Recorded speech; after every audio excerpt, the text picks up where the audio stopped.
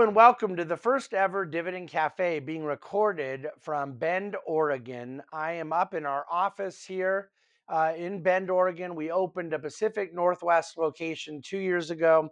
I've spent the last uh, three days here with Jolene. We've had a wonderful time with many clients uh, doing dinner events two different nights and really enjoyed our time with John and Jill and Drew and and Nick, the the two advisors and financial planning professional and operations professional that make up the team here at our Pacific Northwest location. Bend is a beautiful city, and I very much enjoyed the time in the clean mountain air. And we'll be heading out here shortly, uh, but not before bringing you the Dividend Cafe. I uh, began reading uh, a handful of different research papers I was sort of behind on very early this morning and became quickly inspired with a couple of different topics I wanted to go around the horn with today.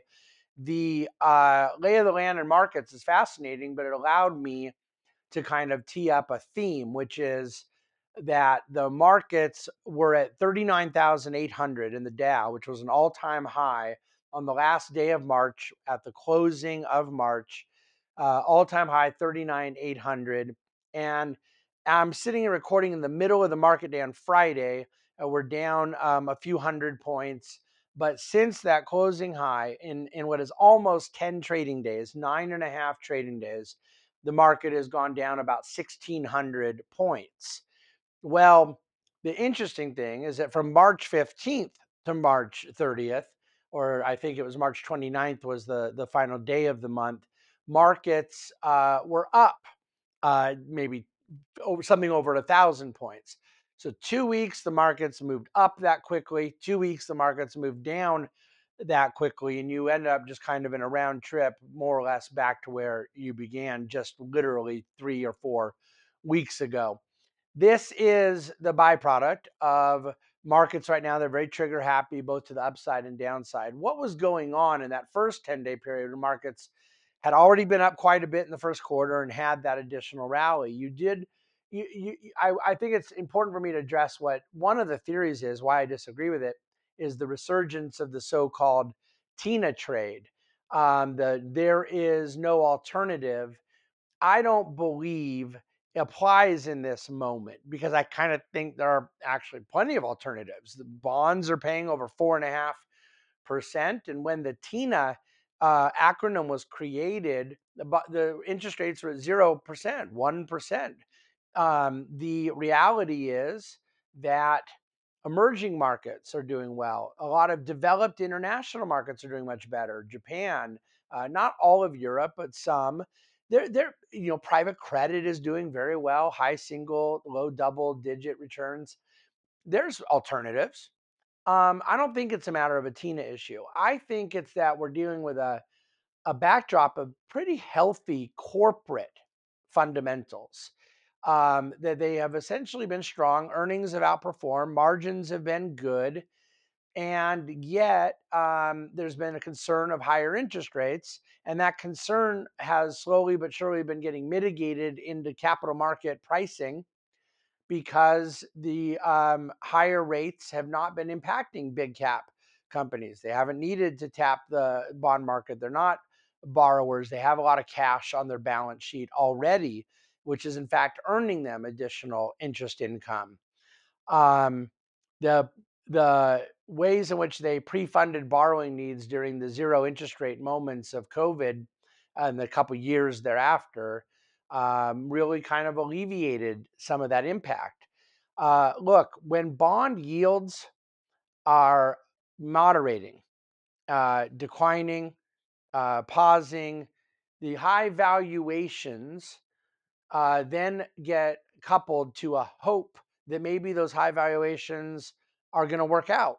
And that, again, it is hope, but you're attaching a hope for high valuations that might become validated, attaching it to healthy corporate fundamentals.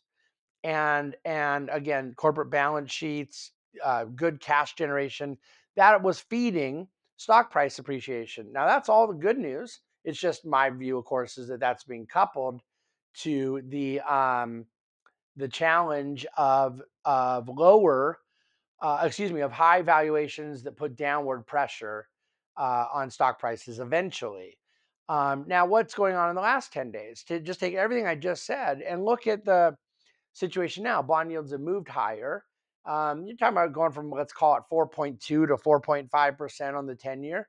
It's not dramatic, but it's a modest repricing around modest differences in expectations for bond yields, different expectations for the Fed, et cetera. And as totally expected and talked about in my annual white paper a few months ago, it's it's added to noise in the markets. It's added to exacerbated volatility.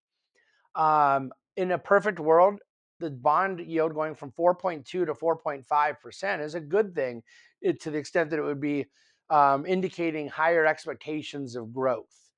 But That's not what it represents now. In a market that has already gotten frothy, it really just becomes a catalyst for punishing the froth and and and it causing some sort of, of repricing. Um, so, at, you know, where does it go from here? I talked last week about the total futility and, and absurdity of making those kinds of short-term predictions. What I would say is that fundamentally the return on invested capital has been quite good the last couple of years despite the fact that the cost of capital has increased and yet because of the higher cost of capital the delta between the two has narrowed and in fact at times gone negative. and when you get um, a spread that is negative between the return on invested capital and the cost of capital, those things can often become recessionary when companies slow down on corporate spending, when they slow down on growth, when they slow down on hiring, when they slow down all the things that make them good and productive companies. And then that slowdown causes the economy to contract. Companies haven't slowed down. Uh, no one's going to argue that capex is super robust. It is nowhere near where I want it to be business investment, but it's hung in there. And capital spending hanging in there, uh, despite the fact that that spread has evaporated between the return and cost of, of capital, um, has has been kind of the major story here. I think any fundamental analysis right now about where markets are going that is focused on anything other than those dynamics, that return on invested capital and the um, byproducts of this to company spending, productive endeavors, productive investments. This is the fundamental story. And when we get sidetracked by some of these um, other issues that are much more short term in nature, unknowable, and sometimes, frankly, uh, not merely tangential, but actually irrelevant, I think that's where our analysis goes astray. There were uh, quite a bit of inflation headlines out this week. The CPI came in 0.1% higher than expected. The PPI, Producer Price Index, came in 0.1% lower than expected. We have a chart in dividendcafe.com today uh, showing, you know, a handful of things with above trend inflation and a handful of things below, uh, several things in deflation from electronics to new vehicles to hotel rooms to school supplies to furniture to appliances to airfare to toys to rental cars, all in deflation. And then you have plenty of things that are, you know, above uh, uh, desired inflation, primarily on the way they measure shelter and then certain transportation costs. But the really big one that jumps out was auto insurance, up 22% year over year, skewing all of those those numbers. The one thing I would say, as one who has you know really deeply been studying the disinflation embedded in the data for some time, especially as it pertains to core goods, and um, trying to wrap my arms around the disconnect in services inflation between the shelter price lag and reality is oil. I think if there's anything that it represents upside risk to inflation at a headline level, because obviously core strips out energy prices, but on a headline level, uh, oil has come up to the high 80s, 86, 87 lately. It had relaxed in the mid 70s for quite some time and now has recently kind of reset itself around the mid 80s. Does that get into the 90s? Does that get to 100? Um, OPEC Plus is not restoring to normal production levels. They're still furious at the United States for 2022 uh, flooding from the Strategic Petroleum Reserve and then not filling it back up as promised. Um, it's hard to predict these supply dynamics. Uh, many said you're not going to get enough supply to clear the market because U.S. rig count dropped so much. But U.S. production has been far higher than expected, even with reduced rig count. And a lot of it is uh, related to far better efficiency and productivity out of the wells that are open, getting a greater yield out of those wells because of improved technology and fracking, improved um, uh, high, uh, you know, horizontal drilling and other things like that. Maybe you can get more production with less rigs. That supply debate is not something I can settle, and obviously the geopolitical complexities are uh, are not predictable by anybody. But if I were to predict what could create upside eh, pressure in inflation in the next several months or quarters, it would be oil prices. And at least that would allow for some intelligent conversation on the subject which otherwise seems to be quite lacking. Um, so 2022, what was the general story? Fed tightens more than expected. Valuations come down. Froth gets hammered. Uh, value kills growth. Energy does well. Commodity prices moved higher. 2023, what was the story? Oh, people are ready for the Fed to reverse. Recession didn't come. Valuations come back up. Bond yields peak and then retreat growth over value. Now the question is, well, is 2024 going to be like 22 or like 23? And you've had two weeks where it was uh, like 22, and and before that you had two weeks that was like 23. This look, um, it's entirely possible 2024 ends up being like one of those two years, and we'll end up finding out which one. But you know, the far more likely scenario is that 2024 is going to end up being like 2024 where there will be some similarities to one of these past years, but there will be other nuances and other conditions that are just simply different as a result of the fact that it's a different year with different circumstances. Those binary reductions are often, I think, very unhelpful and sometimes dangerous. Um, there's a chart at dividendcafe.com this week about the cost of interest on the debt. It's a topic that's come up quite a bit lately. It came up at one of my client dinner events this week.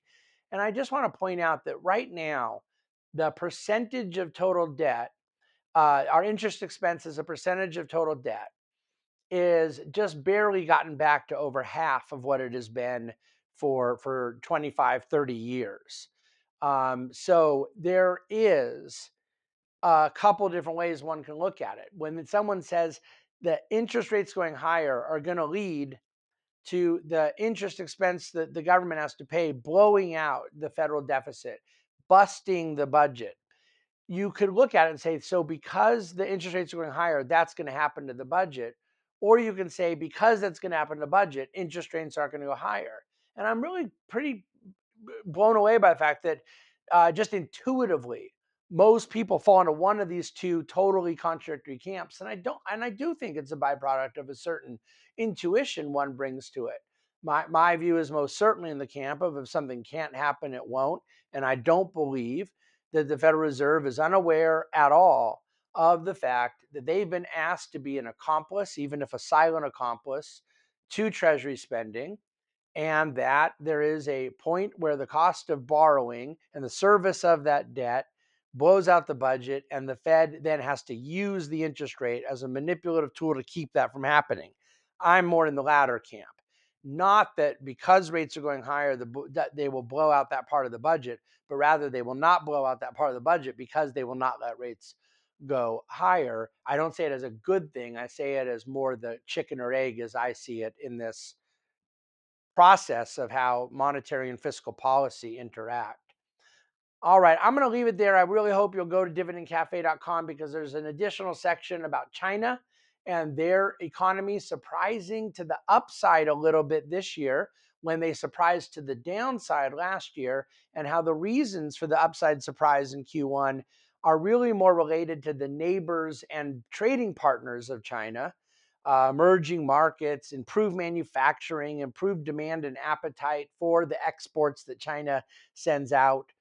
And and uh, there's also a chart of the week that is one of my favorites where you get a chance to look at the PE ratio, not of the whole S&P 500, but the isolated large cap growth index, the Russell 1000, and see how that has has blown out. But then a dividend index where its dividend, uh, excuse me, PE ratio has stayed re- relatively flat, and the delta between the two has exploded in just recent years. Um, I don't say in Dividend Cafe, therefore, this speaks to the relative attractiveness of the dividend side of things. But even though I didn't say it, hopefully you know what I'm thinking.